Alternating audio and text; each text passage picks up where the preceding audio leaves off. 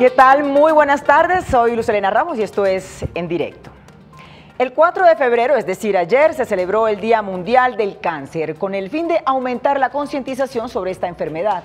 El objetivo es disminuir las muertes por este mal a través de cambios de conducta, prevención y detección temprana. Miren, en muchas culturas y sociedades el cáncer sigue siendo un tema tabú, no se habla de esto.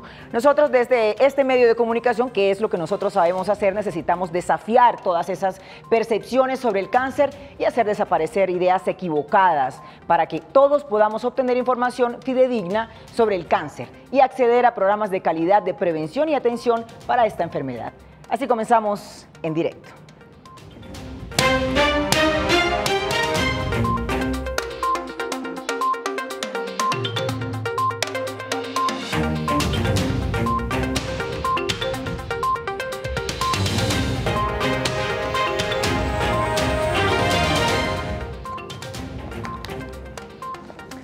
Miren, las cifras de personas que padecen cáncer aquí en Colombia y de quienes fallecen a causa de esta enfermedad siguen siendo muy, pero muy preocupantes.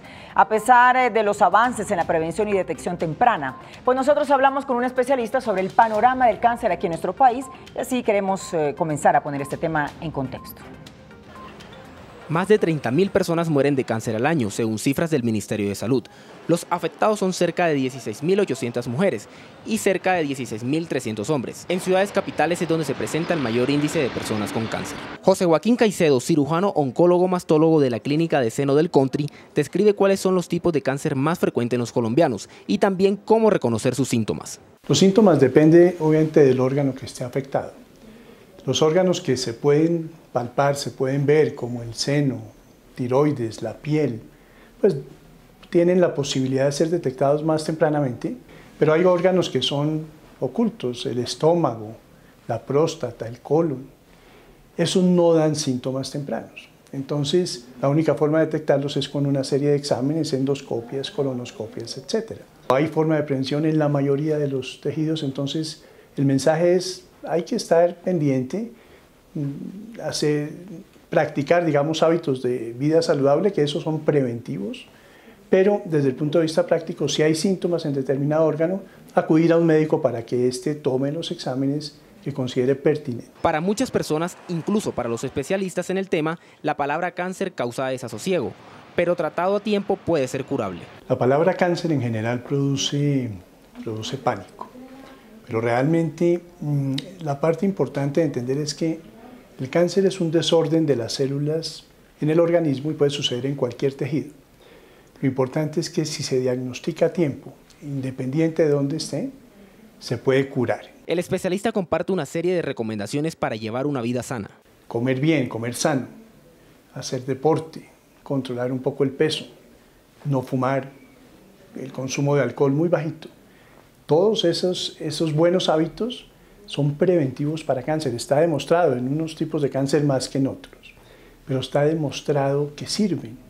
Por otra parte, el doctor Caicedo hace un llamado de atención a los padres de familia, a que motiven a sus hijos a llevar un estilo de vida sano y también invita a las mujeres a hacerse el autoexamen para prevenir el cáncer de mama, pues es el más mortal en las mujeres colombianas.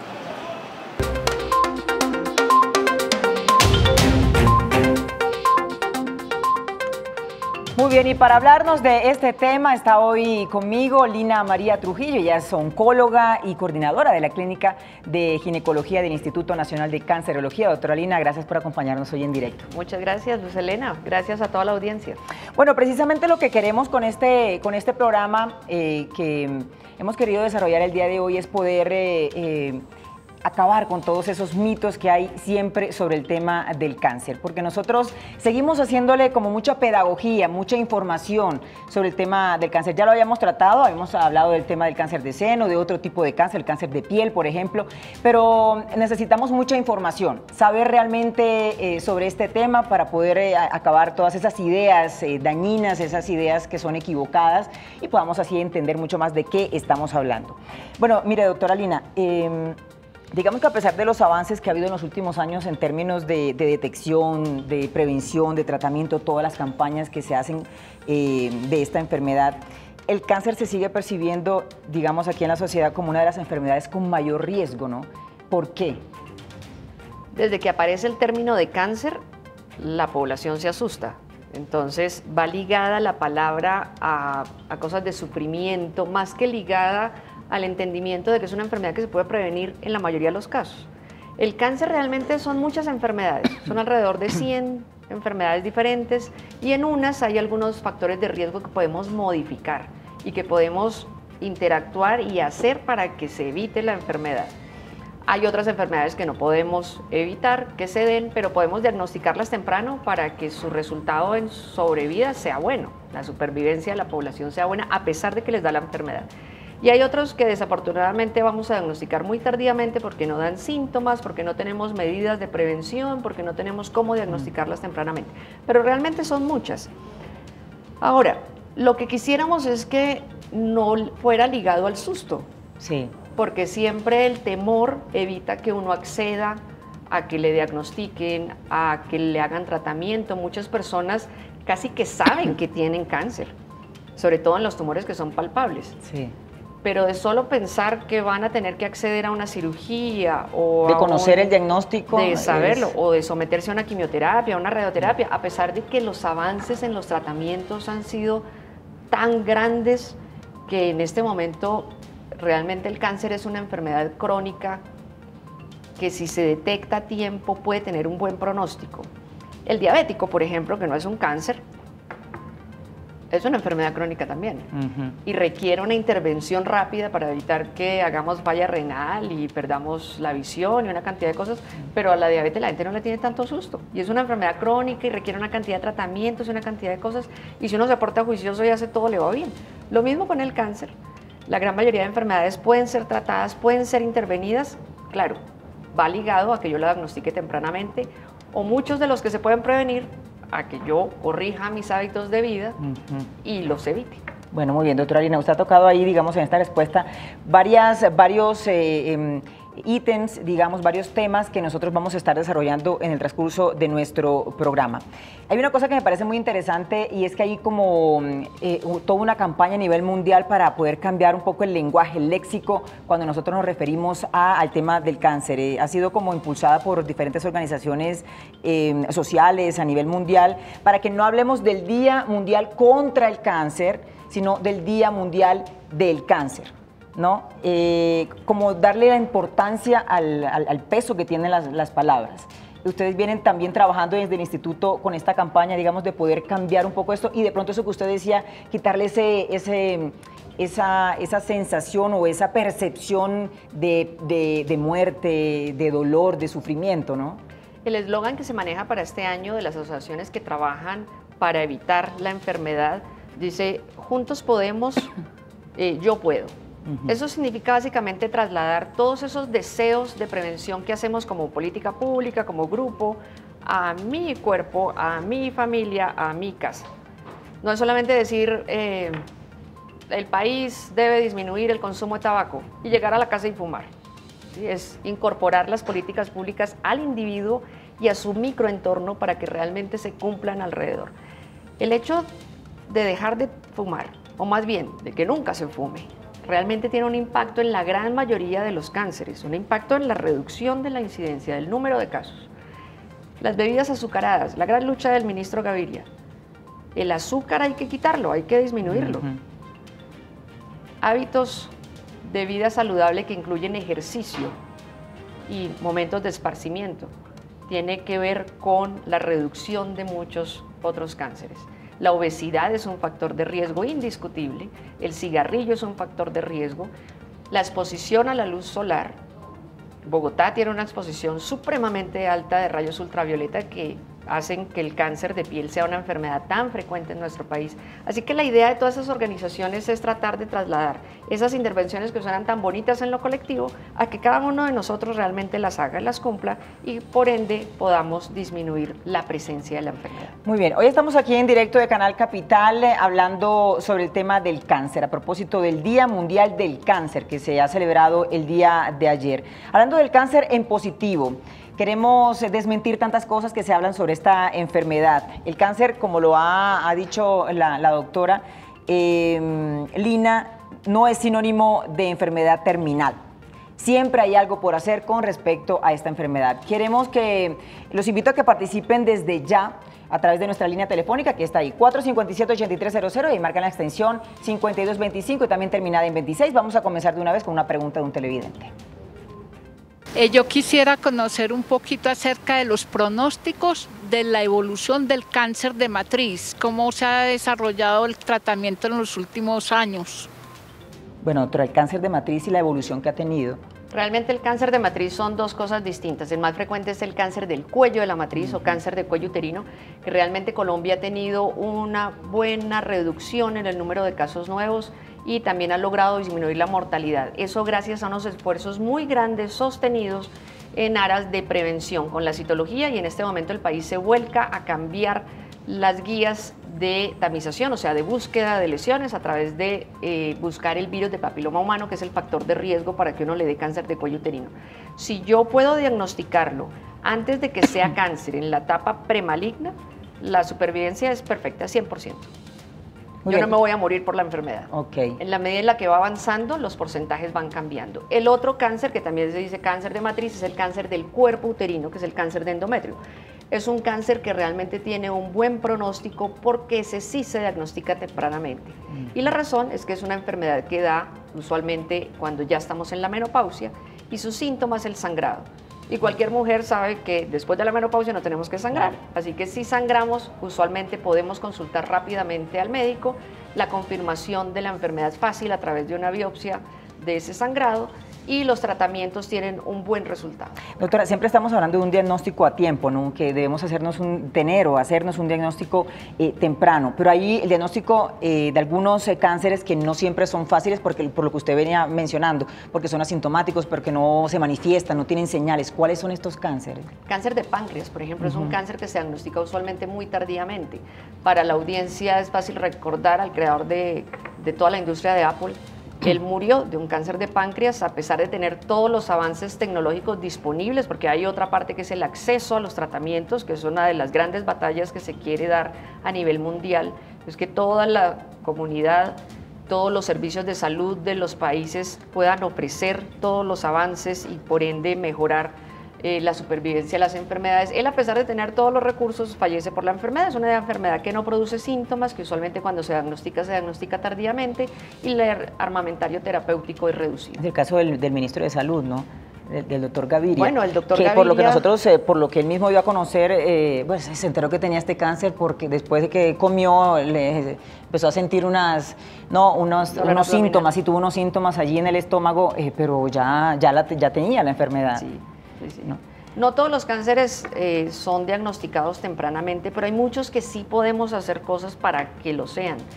Y para mí como ginecóloga es frustrante que me lleguen casos de cáncer de cuello uterino avanzados, porque significa que o yo como ginecóloga no hice algo, no las vi en el momento que era, o ellas no pudieron acceder porque no quisieron o porque no pudieron. Y hay unas barreras de los sistemas de salud que deben ser resueltas. Muy bien, vamos inmediatamente a nuestra línea telefónica.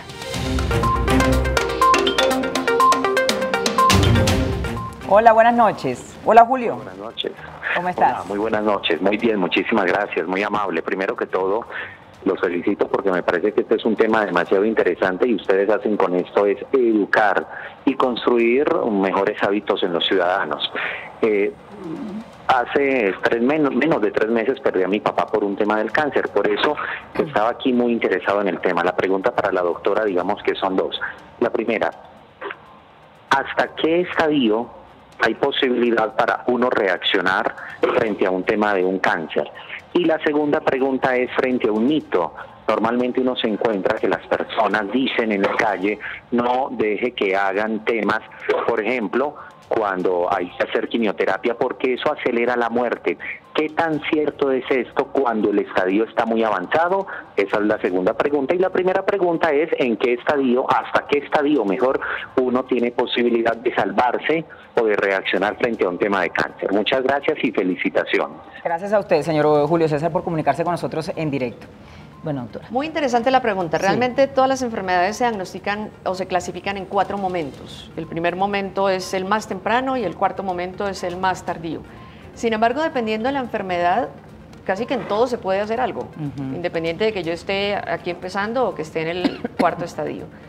claro, el éxito de los tratamientos va a ser menor en la medida en la que yo tenga la enfermedad más avanzada.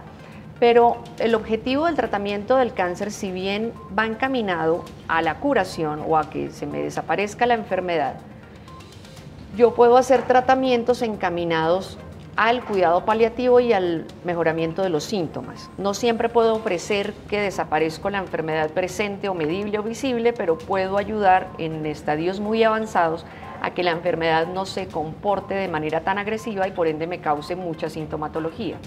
Pero no hay ningún momento en el que uno diga, eh, absolutamente no hay nada que hacer, no, en todo se puede hacer algo. Claro, yo tengo más herramienta terapéutica en el primer estadio y más éxito en el primer estadio que en el último. Sí. Ahora, el otro gran mito es el de la quimioterapia. La quimioterapia... Que la, sola, que la sola palabra quimioterapia es una, una palabra fuerte, ¿no? La hemos asociado como a tiene una connotación muy negativa, ¿no, doctora? La quimioterapia es una gran cantidad de medicamentos hay unos orales, hay otros inyectables, eh, pero cada vez más la ciencia ha encontrado la posibilidad de ir directo al problema. Muchas de las quimioterapias que antes se daban o que algunas todavía se dan tienen efectos en casi todo el organismo porque atacan tanto lo bueno como lo malo. Pero en este momento el desarrollo de los medicamentos de quimioterapia ha permitido ir al sitio, tanto que hay medicamentos que van al sitio de la metástasis a ayudar ahí, hay medicamentos que van al daño de la célula, el daño genético que tiene la célula y permiten que la célula entonces eh, maligna muera. Así que realmente es un mito pensar que el hecho de que le hagan la quimioterapia lo va a empeorar. No, por el contrario, es una de las herramientas terapéuticas más fuertes y con mayor éxito y con mayor avance terapéutico. Por ejemplo, el melanoma era una de las enfermedades que más miedo le teníamos porque no teníamos mayor cosa que hacer excepto cirugía y unos medicamentos de quimioterapia que eran supremamente agresivos. En este momento hay nuevas herramientas terapéuticas para estos tumores tan agresivos que permiten tener una sobrevida muy buena con unos efectos secundarios muchísimo menores. Y con respecto a esos efectos secundarios le quería preguntar, eh, ¿se pierde definitivamente todo el cabello? Eh, si me ha recetado la quimio, por ejemplo, es porque ya no, es decir, porque el cáncer está muy avanzado eh, siempre provoca vómitos, este tipo de, efectos secundarios que siempre tendemos a, pensar que es así, ¿qué podemos decir? ¿Son mitos o...? Realmente no son generalizados porque van a depender mucho del medicamento y de la dosis. Por ejemplo, ginecología, que es mi tema. Sí. Cuello uterino y ovario van a recibir eh, como manejo dentro de terapia de manejo un medicamento que es el mismo pero en cuello uterino lo voy a dar en una dosis muy bajita. Esas mujeres no van a tener vómito, no, les va no se les va a caer el cabello, nada. Esa quimioterapia bajita que le doy hace que la radioterapia, que es lo más importante en el tratamiento del cuello uterino, sirva mejor. En ovario yo sí necesito una dosis de la quimioterapia mucho más fuerte. En ella sí van a tener muchos síntomas, pero por ejemplo la caída del cabello, que es algo para nosotros las mujeres tan importante, gracias a Dios el cabello vuelve y sale. Eh, pero sí, si se cae porque la dosis es distinta pero realmente es el mismo medicamento. Ahora bien, no todo el mundo tiene la misma respuesta a los medicamentos ni a los tratamientos. En el Instituto Nacional de Cancerología teníamos una paciente que trabajaba con nosotros, a quien queríamos mucho, y ella decía que ella era la paciente distinta, porque todo lo que le daban a ella no le producía nada y no se le caía el cabello, a pesar de que le daban las mismas dosis que a otras. Así que cada respuesta del organismo es diferente, a pesar de que el medicamento sea el mismo. Muy bien, vamos con otra pregunta de un televidente tratamiento como la quimioterapia trata acerca de matar las células cancerosas, ¿en qué porcentaje cree usted que estos tratamientos pueden llegar a beneficiar finalmente al paciente? Bueno, está relacionada, eh, él habla de los beneficios eh, de la quimioterapia, con lo que hablábamos, doctor. Realmente lo que uno quiere con la quimioterapia es quitar todas esas células eh, de la enfermedad que hayan podido quitar y que en cirugía no hayan podido ser resueltas o para algunos tumores que realmente su manejo debe ser con la quimioterapia primero. Así que yo creo que hay que desmitificar el uso de los tratamientos oncológicos. Claro, no son tratamientos suaves, no son tratamientos para eh, una gripa, pero, pero los efectos secundarios sí, sí se han reducido con las nuevas tecnologías, con los nuevos medicamentos, con algunos otros medicamentos que se dan para que no se sientan tanta molestia.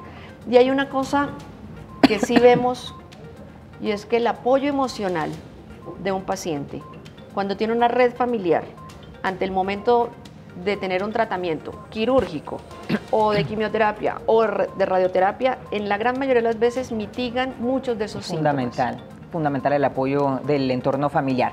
Vamos hasta ahora con Stephanie a la línea. Hola, Stephanie. Hola, buenas noches. Hola, buenas noches, ¿cómo están? Muy bien, Stephanie, te eh, escuchamos. Eh, mira, qué pena, es que tengo un poquito de retorno. Eh, bueno, el tema es que a uno le, le, venden la idea de que todos los seres humanos nacemos eh, con todos los tipos de cáncer, ¿no? Entonces, lo que nos dicen es que dependiendo de la alimentación y de el hacer un buen ejercicio, el cigarrillo, el licor, bueno, todos esos temas Depende de esto si algunos se nos desarrolla o algunos otros no. Entonces yo quería saber qué tan cierto es esto. Si es que todos nacemos realmente con cáncer y somos de buenas pues a los que no se nos desarrolle o lo contrario. Vale, Estefania. Gracias. Doctora Lina. Todos nacemos con predisposición hacia algo. Realmente la definición celular del cáncer es que hay una célula que debió morirse y no lo hizo. Y se dividió y se dividió y se dividió y se dividió, dañada, y forma un tumor. Eso para los tumores sólidos, diferente a las enfermedades hematológicas como las leucemias. Pero básicamente eso es lo que ocurre. Uno sí trae alguna carga genética ocasionalmente que lo predispone a algunas cosas.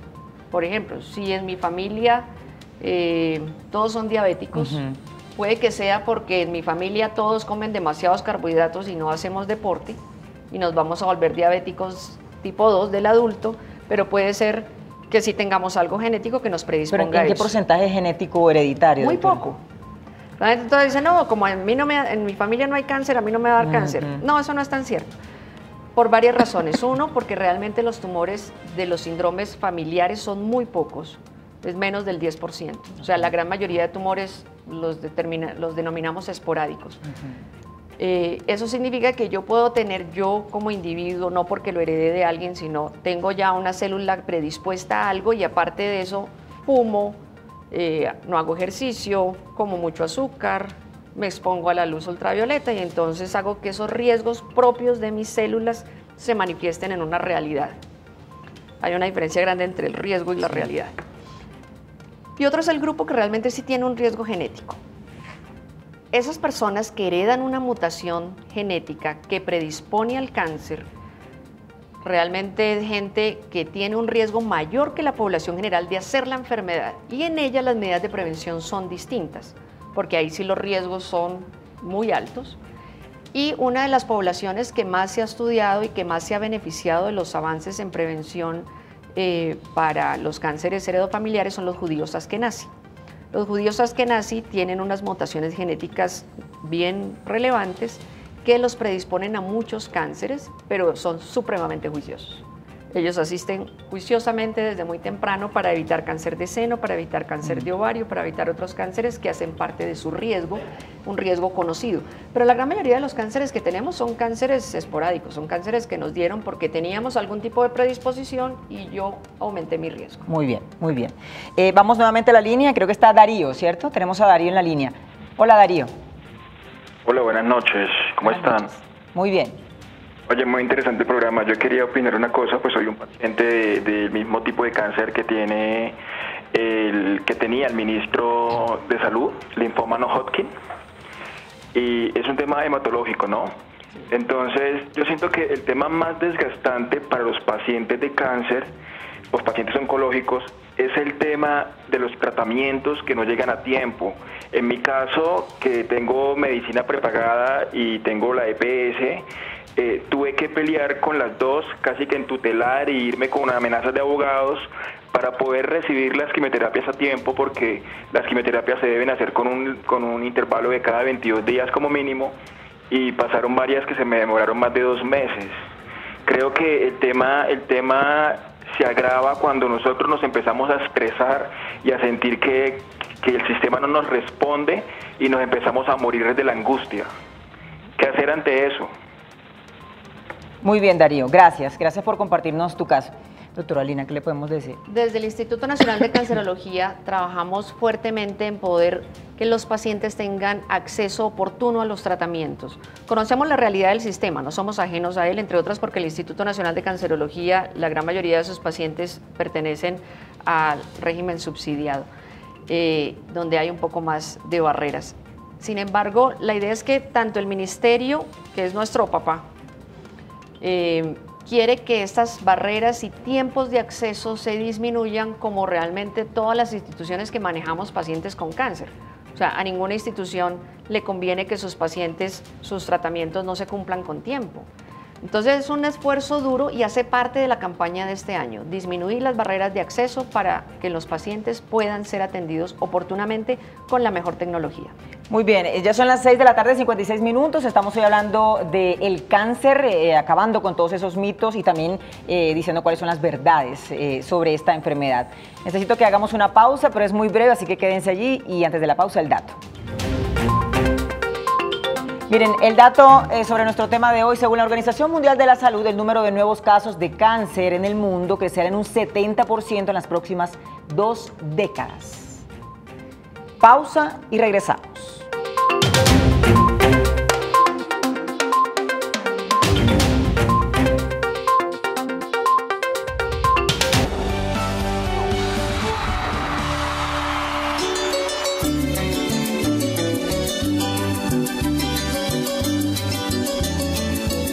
Defendido sectores fundamentales como el agropecuario, pero adicionalmente nuestra línea social, nuestra mirada de mujer, siempre está presente en nuestras actuaciones. El año pasado terminó con una propuesta que generó una gran polémica a nivel nacional. Logramos incluir en la JEP un artículo de nuestra autoría que estableció que aquellos que hubiesen cometido delitos sexuales contra menores durante el conflicto armado no iban a pagar penas alternativas, sino las máximas penas establecidas hoy en el Código Penal. No van a poder elegirse, no los vamos a ver allí en las curules. Ahora la tarea es la castración química contra violadores de menores, la cadena perpetua y también el registro de deudores alimentarios morosos. No más padres ni madres que traen hijos al mundo y no quieren responder por ellos.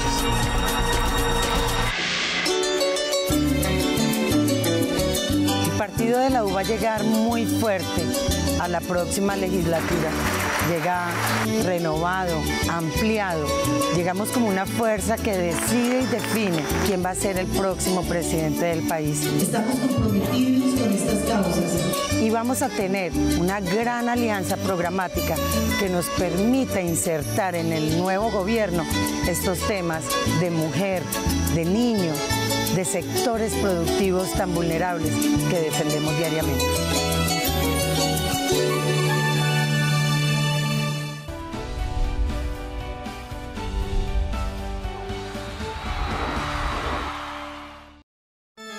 Programa es patrocinado por Azúcar Manuelita, que refina el mejor azúcar del país.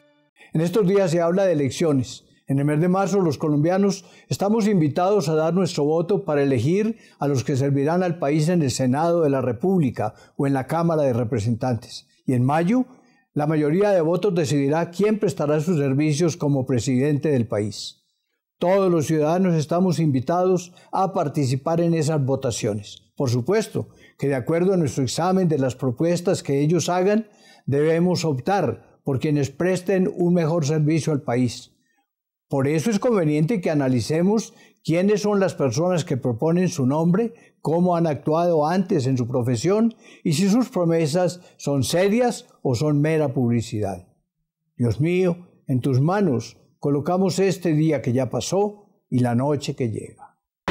Este es el comienzo del camino a la gloria de los futbolistas bogotanos. 0-0 el partido, tiro libre en la mitad de la cancha van a cobrar el tiro libre de Murte. ¡Gol! Liga de Fútbol de Bogotá. Solo por Canal Capital.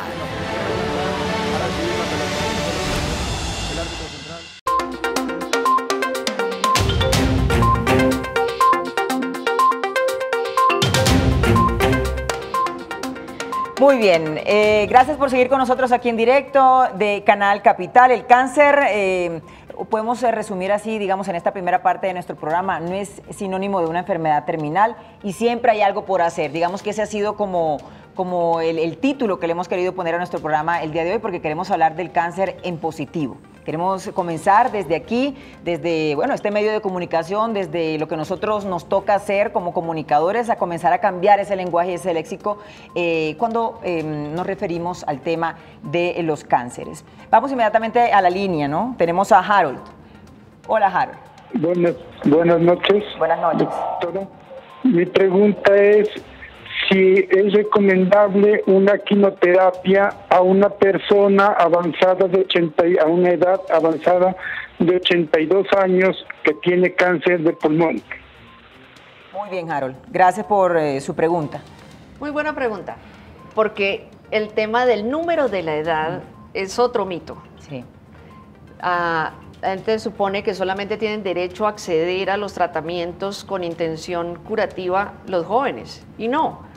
Hay personas de 60 años que tienen muchas enfermedades alrededor y pueden verse más mayores que alguien de 82 años que puede tener una expectativa de vida relativamente buena y que tenga todo el resto muy bien. Así que el ponerle un número al inicio o al final del tratamiento creo que no es una buena idea. Cada oncólogo cuando maneja a un paciente determina algunas cosas que pueden ser riesgosas para su condición, pero también lo que el paciente opine. O sea, somos muy respetuosos también de que el paciente diga, hágame todo, a pesar de que yo tenga 82 años, o hay pacientes que dicen, no me haga nada, no necesito nada más, deme buena calidad de vida, que yo quiero es otra cosa. Eh, pero ponerle un número al, al que uno decida, decida o no un tratamiento, pues no es una buena práctica. Se ven otros factores, si es hipertenso, si es diabético, si tiene otras enfermedades, si tiene metástasis. Depende del estado de salud depende de la persona. Sí. Muy bien. Vamos nuevamente a la línea. Hola, buenas noches. Hola, Marcos. Buenas noches. Buenas noches. Eh, sí, mi nombre es Marcos. Eh, yo tengo 68 años. Resulta que hace dos años a mí me, yo tenía la próstata inflamada y me hicieron una trasuretral y yo quedé muy bien operado porque después de eso quedé orinando bien y todo. Hicieron la respectiva biopsia y no encontraron nada maligno. Pero un año después se me comenzó a subir el antígeno hasta 16 y la doctora que me atendía eh, me ordenó hacer una serie de exámenes. En las biopsias salió que yo tenía tenía unas algo sospechoso. Entonces ahí mm, yo le pregunté a la doctora que por qué cuando me hicieron la operación no se detectó eso. Dijo, no, es que en ese momento el organismo estaba muy, muy sensible. Entonces, eh, después de eso me hicieron una serie de exámenes, un examen que no me acuerdo bien el nombre para ver que no hubiera metástasis en los huesos y todo, y, he venido bien. Entonces, me el oncólogo me ordenó hacer una linfadectomía porque detectaron algo, para tenía que mirar los ganglios y toda la cuestión. Me hicieron una muestra de 19 y de los cuales solamente salió afectado uno, pero que con, con uno que haya ya es un poco complicado. Entonces me hicieron esa linfadectomía y después de ahí me ordenaron hacer radioterapias. Yo esas radioterapias las terminé el 6 de septiembre y todo bien, pero resulta que ahora hace 20 días larguitos resulté con herpes. Me dicen que es que estoy como estoy bajo de defensas por las radioterapias y todo eso. Mi pregunta es, después de quimioterapias y radioterapias, ¿los enfermos estamos ya condenados a morir de cualquier otra enfermedad o qué hay que hacer con la alimentación o cuáles son los consejos? Muy bien, Marcos. Gracias por compartirnos tu caso y, y tu experiencia. Realmente no, no es que el hecho de que me hayan hecho tratamientos me predispone infinitamente por el resto de mis días a tener más enfermedades, no. Durante los tratamientos uno sí tiene algo las defensas más bajas y es la razón por la cual se les recomienda a los pacientes que están en quimioterapias, por ejemplo, o en radioterapia, que si hay alguien en la gri- con gripa en la casa, que esa persona no esté cerca. Eh, si hay alguna infecto contagiosa cerca, esas personas deben salir del entorno. Eh, durante el tiempo de tratamiento. Pero después de ahí no. Ahora, el herpes, la culebrilla, que es el herpes eh, zóster que nos da a los adultos o que les da a los adultos mayores, es una enfermedad muy frecuente independiente de que yo tenga, haya tenido o, me, haya hecho, me haya sometido a la quimioterapia. Sí, eh, de hecho, en este momento Colombia cuenta con una vacuna para evitar o disminuir la posibilidad de que me dé herpes zóster es una vacuna que se pone después de los 60 años, no se pone en jóvenes, a no ser que tenga una indicación médica precisa. Eh, pero, claro, si yo tengo las defensas más bajas, pues me da más fácil una gripa, pero también eh, los que somos mamás de chiquitos, cuando los chiquitos entran al jardín, nos llevan todas las gripas y también nos dan, independiente de que hayamos tenido o no una enfermedad maligna. Muy bien, vamos a ver cómo se está moviendo todo el movimiento de las redes sociales a esta hora, si hay comentarios o preguntas. Gustavo. Buenas noches Luz, buenas noches para usted, para nuestra invitada y por supuesto para nuestros televidentes que nos acompañan todas las noches ahí fielmente en Canal Capital. Recuerde, si quiere que sus preguntas opiniones sean leídas en el directo, envíenlas usando nuestra cuenta de Twitter arroba Canal Capital o nuestra cuenta de Facebook Live. Vamos con nuestra primer televidente, arroba Iván Marín nos pregunta, ¿Qué medidas podemos tomar en el hogar, alimentación, equipos electrónicos, para prevenir la aparición de cualquier tipo de cáncer? Si quiere, cuéntenos sus experiencias, la experiencia de un familiar, y aquí con gusto en Canal Capital se la leeremos. Recuerde, usando la etiqueta en directo capital. Para seguir esta ronda de preguntas y opiniones, vamos con arroba Yen. Mi tía es sobreviviente de cáncer de mama. Una buena actitud con la vida, buena alimentación, comiendo frutas como la guanábana, baja en sal, en grasas, no azúcares refinados, comer lo más natural posible y realizar ejercicios la a vencerlo junto a un tratamiento médico. Y para cerrar esta ronda de preguntas y opiniones aquí en En Directo, vamos con nuestra televidente arroba Giselle. Hola, mi mamá es luchadora del cáncer de seno y la mejor manera de enfrentarlo es con una buena actitud. Sé que es difícil, pero el cáncer es de esas enfermedades totalmente anímicas. Recuerda, aquí en Canal Capital podemos leer sus preguntas y opiniones. Use la etiqueta en directo Capital. Espero que hayan tenido un buen inicio de semana y mañana nos vemos con otro tema de interés. Luz Elena, continúe con nuestra invitada. Muy bien, Gustavo, buen inicio de semana también para usted. Gracias por recoger siempre lo mejor, lo más destacado de nuestras redes sociales. Digamos, doctora Lina, que los comentarios eh, de nuestros tuiteros están muy enfocados al tema de cómo se puede combatir, ¿no? Y combatirlo comienza precisamente con la adopción de esos eh, hábitos saludables de los que las personas nos estaban comentando. Yo quiero que entonces hablemos de, ese tema. ¿Por dónde debemos iniciar entonces? Habla de la alimentación, de hacer ejercicio. Eh, ¿Qué es lo que debemos hacer, digamos, para tener un ritmo de vida que, nos, que no, nos lleve pues, a un cáncer? Debemos empezar por la casa y el colegio Podemos tener construcción de hábitos de vida saludable en la casa que deben ser reforzados en el colegio. Si yo en la casa tengo hábitos de consumo de verduras, frutas, consumo moderado de carnes rojas y en el colegio lo recalco, lo más seguro es que ese niño o niña, mi hija es un ejemplo clásico de ello, va a tener una buena salud a futuro. El deporte. Es difícil que uno se vuelva deportista de adulto cuando se sube uno de peso, uno dice, ah, bueno, sí, listo, ahora me tocó. Pero es una obligación. Pero si yo construyo hábitos saludables en torno al ejercicio desde niños, es muy difícil que de adulto ellos abandonen el ejercicio. Hace parte de su vida. Entonces es una tarea que tenemos que hacer nosotros en la casa, pero que debe ser reforzada en el colegio. Si yo doy una alimentación balanceada en la casa, pero en el colegio lo único que venden es comida de paquete y bebidas azucaradas, pues no, ellos en algún momento van a tener acceso a eso. Entonces debe existir una política escolarizada desde el Ministerio de Educación, muy juiciosa, no solamente para los colegios públicos, que ya se está haciendo, sino también para los colegios privados y en eso algunas organizaciones de papás están llevando una buena labor con esto.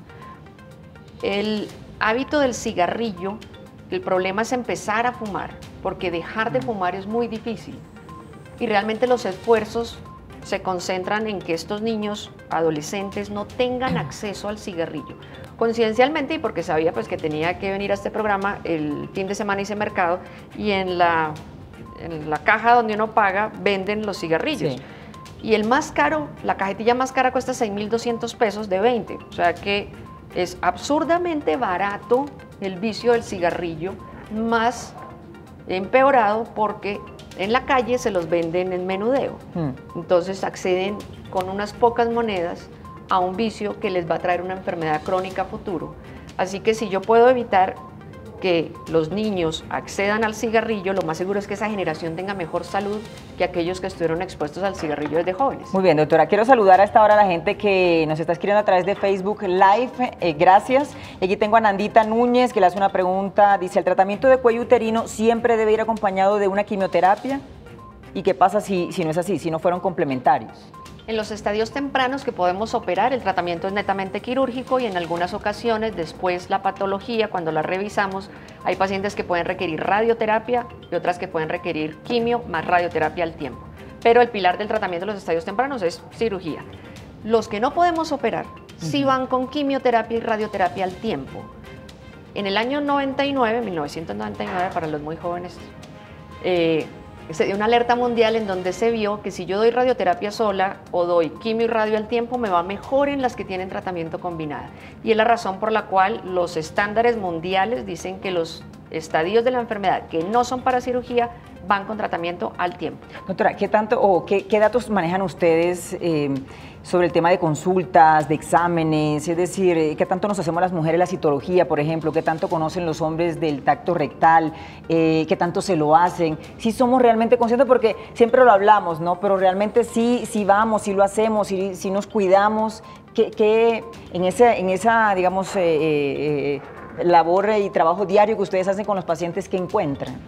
El comportamiento por género es completamente distinto. Las mujeres sí somos juiciosas yendo a la citología. La encuesta nacional de demografía y salud hace esa pregunta eh, rutinariamente y las mujeres sí sabemos qué es la citología, sí nos tomamos la citología y cumplimos con la cobertura de la citología de 113, es decir, me la hago este año, está normal, me la repito el siguiente año, está normal, me la repito en tres años, alrededor del 76% de la población colombiana. Eso es muchísimo, es un buen dato. El detalle es que el acceso a la confirmación de la normalidad que me muestra la citología, ahí es donde puede haber problemas. La señora le dan su citología, el cuento de que nadie la, reclama también es mentira. Hay algunas que tienen problemas de acceso. Si yo vivo muy lejos en una vereda y el centro de salud me lo cambian de puesto, pues lo más seguro es que no, no logre encontrarlo. Pero la gran mayoría, al menos de las zonas urbanas sí tienen el resultado. El problema es que una vez con el resultado anormal, acceder al tratamiento, ahí es donde puede haber demoras por muchas razones. por miedo. Sí, muy bien, doctora. Es que tenemos varias preguntas acá, pero quiero darle prioridad a nuestros televidentes. Tenemos una llamada a esta hora. Buenas noches. Hola, Jason. Hola, buenas noches. Buenas noches, Luz Doctora Lina, buenas noches. Mire, mi consulta es muy breve y son las siguientes preguntas.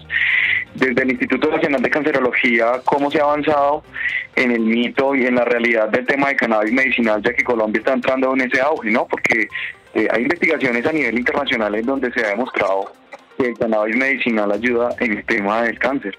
Dos, eh, si muy bien es cierto, eh, la industria farmacéutica y el mundo médico trata mucho eh, el elemento químico para usar tratamientos en las personas, pero verdaderamente los efectos secundarios son, son desgastantes y son verdaderamente fuertes para las personas.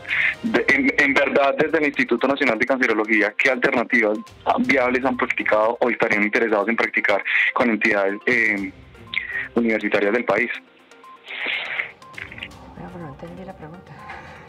Si me puede repetir un poquito, concretarme un poquito más la pregunta al final. Sí, eh, en, en sí, ¿cómo desde el Instituto Nacional de Cancerología o desde las investigaciones de cancerología del país en Colombia, cómo se puede ver viable una práctica de uso de cannabis medicinal, ya que Colombia está entrando en ese tema del marco jurídico y legal viable? Es que eh, había tenido problemas con el audio. Eh, hay diversas investigaciones que se están llevando en el mundo para el uso medicinal del cannabis en su forma terapéutica, no solo en su forma eh, que se consigue en la calle, sino de manera terapéutica, unas concentraciones que pueden ser beneficiosas en el manejo del dolor o de algunas otras sintomatologías eh, del paciente.